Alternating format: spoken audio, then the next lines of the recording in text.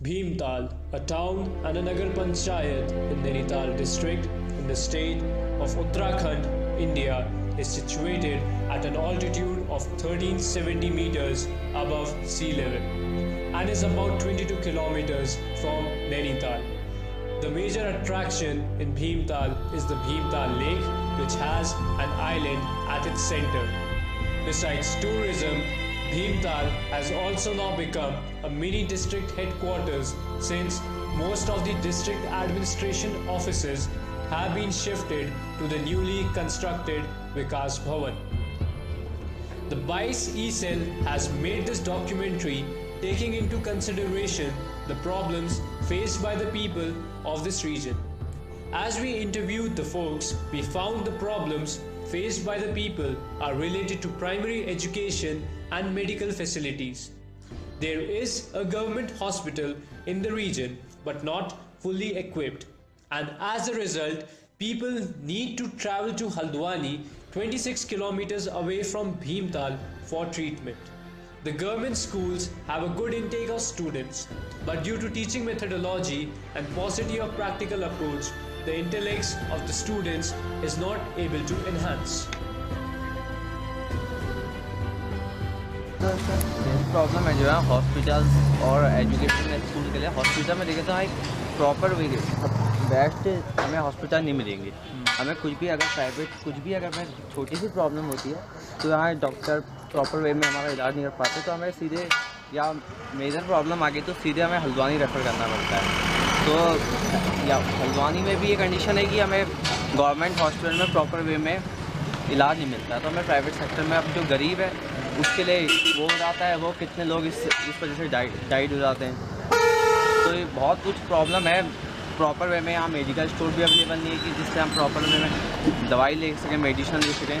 तो हमें यहाँ पे एक हमें एक वो है कि यहाँ पे बेस्ट हॉस्पिटल बने प्राइवेट सेक्टर के लिए। और बच्चों की पढ़ाई के लिए छोटे बच्चों की। बच्चों की पढ़ाई के देखिए यहाँ पे जो गवर्नमेंट स्कूल यहाँ पे तो आप देख सकते हैं कि आप बहुत गवर्नमेंट स्कूल हैं। प्राइवेट सेक्टर के स्कूल भी हैं पर जो गरीब बच्चा है वो गवर्नमेंट स्कूल में जाना है आपको। तो वहाँ पे क्या होता है कि उन्हें प्रॉपर वे में एक पढ़ाई का वो नहीं मिलता। बेसिक उनके क्लियर नहीं हो पाते हैं और जब वो वहाँ से यहाँ से ट्वेल्थ पास करके जाते हैं तो उसे बहुत काफ़ी प्रॉब्लम्स का सामना क्रिएट सामना करना पड़ता है।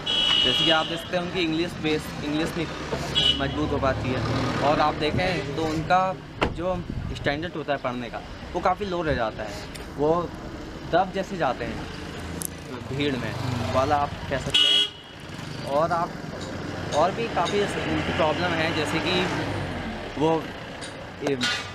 एक, कि उनका परसेंटेज स्टैंडर्ड कि उनकी परसेंटेज आप देखें तो पचास, पैंतालीस इतने पे रह जाती है और वहाँ मांगते नाइन्टी पे परसेंटेज ला रहे हैं सी इंग्लिश बोर्ड का बच्चा तो यहाँ सब पीछे हो जाता था हम चाहते हैं कि यहाँ पे जो एक बेस्ट एक एकदम सही तरीके का वो आप कह सकते हैं कि यहाँ एक प्रॉपर वे हो जिस पे एजुकेशन को प्रमोट किया जाए और बच्चों पे विशेष का ध्यान दिया जाए गवर्नमेंट स्कूल के बच्चों पर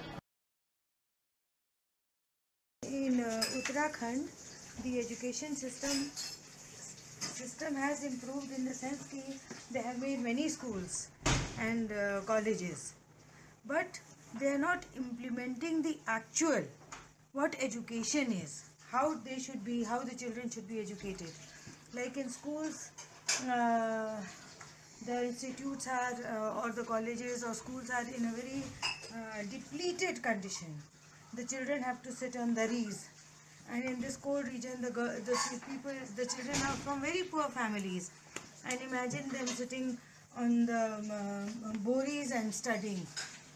So it's very very tough for them, and uh, what I feel ki even the teachers, they are getting a very handsome amount of salary but they are not putting all their efforts. In the sense ki uh, the distances are too much. So they are what i have heard that they are employing or they are uh, not serious about their uh, commitment. बिल्कुल डर किसी को अगर थोड़ी emergency हो गई तो उसको हल्द्वानी जाना जैसे यहाँ पर पी एच सी है तो उसमें भी कोई खास हो नहीं डॉक्टर कैसे हैं? डॉक्टर वही आते पीछे पीछे वही दवाइयाँ कुछ वहाँ की दे दी कुछ बाहर से लिख देते हैं उससे फ़र्क हो गया तो हो गया वाली बात है किस्मत की। जाना हल्द्वानी पड़ता है। सब यहाँ पर सर्दी जुकाम हल्का दुल्का इस टाइप की बीमारियाँ तो ठीक हो जाती हैं। हड्डी में कोई फ्रैक्चर हो गया वो हो गया उसकी कोई एक्सरे एक्सरे की कोई सुविधा नहीं है एक्सरे है मशीनें ख़राब रहती मशीन ठीक होगी तो। ऑपरेटर नहीं होगा। ब्लड टेस्ट है ये पीलिया हिलिया के एक दो टेस्ट होते हैं यहाँ पर और शुगर भी हो ब्लड शुगर ब्लड से लेके नीचे करते हो मशीन से टक पे करके करते हैं। उसमें क्लियर आता नहीं है। और व्यवस्थाएँ कैसे अगर रात में कोई बीमार हो जाए हल्द्वानी में हल्द्वानी जाना पड़े इमरजेंसी में। तो कभी कभी तो डॉक्टर मिल जाता है अधिकांश नहीं मिल पाता। हालांकि इनको रूम वहीं अलाउड है हाँ हाँ फिर भी वो रहते नहीं और दवाइयों दवाइयाँ कैसे दवाइयाँ सब आधी वहाँ से देते हैं आधी बाहर से देते हैं It is said that the universe is so well balanced that the mere fact that you have a problem also serves as a sign that there is a solution. In difficult times, the Azim Premji Foundation is an organization who has devoted themselves in the well-being of the people. The main focus of this organization has been to provide primary education to children through effective methods of learning. Examination system और question papers का जो बनता है खास तौर से question आपके ज्यादातर क्वेश्चन बनते हैं क्यों और कब पे क्यों और कब इंफॉर्मेशन बेस्ड नॉलेज है तो क्यों और कब से आप क्या जानकारी रखेंगे अकबर कब पैदा हुआ था इब्राहिम लोधी कब मरा था? राजीव गांधी ने ये योजना कब चालू की? इस तरह की सूचनाएँ ली जाती हैं। उससे कोई फ़र्क नहीं पड़ता। तो हमने कहा कि यार सवालों को हमें बदलना चाहिए। बच्चे से एप्लीकेशन के सवाल पूछने चाहिए अंडरस्टैंडिंग के सवाल पूछने चाहिए। तो हमने क्वेश्चन पेपर बदले और सीआरटी ने गोल तय किए हैं कि एजुकेशन के गोल्स क्या हैं। और यदि बच्चा ग्रेजुएशन पोस्ट ग्रेजुएशन करता है तो उसके अंदर ये वैल्यूज़ तो आएँगे ही आएँगे। For the health issues, people like Dr. J.C. Joshi, who is the owner of a pharmacy, is a savior for the people in the region.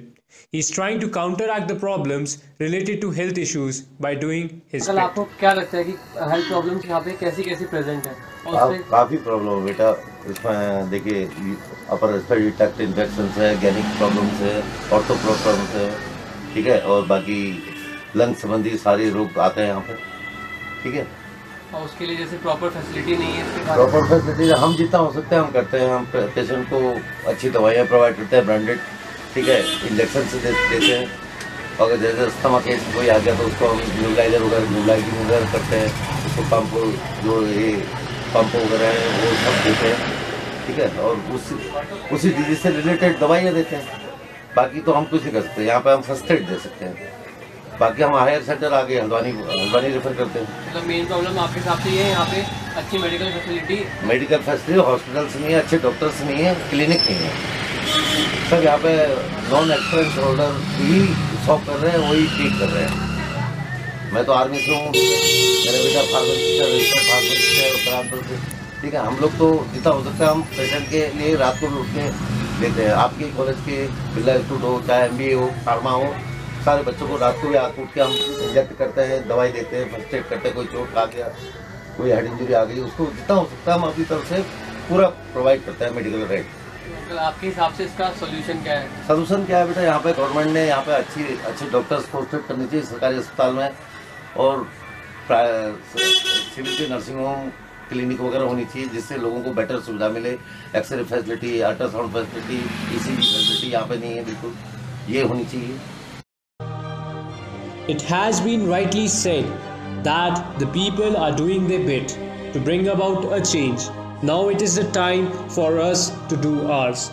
In words of George Bernard Shaw, we are made wise not by the recollection of our past, but by the responsibility for our future. Thereby, we, the people of Bias Cell, request the viewers to do all they can for the betterment of these people and the nation.